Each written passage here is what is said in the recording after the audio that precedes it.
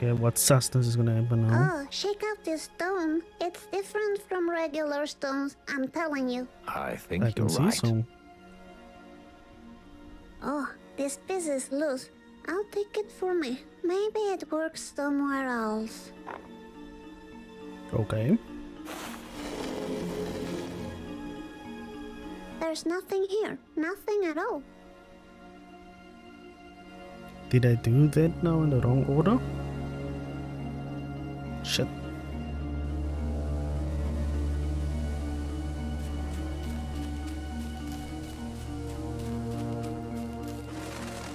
Crows. Ah, there. A that hole looks very much like where the fox would hide the prize. You mean I should go down there? Yes. Don't worry. dollar. Nothing bad will happen.